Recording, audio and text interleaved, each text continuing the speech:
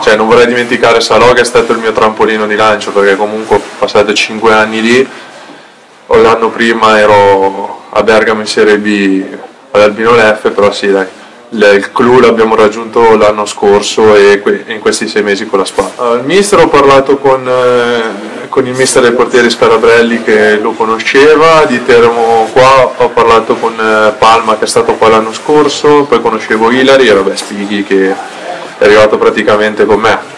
L'anno scorso ci abbiamo giocato contro e adesso eccomi qua.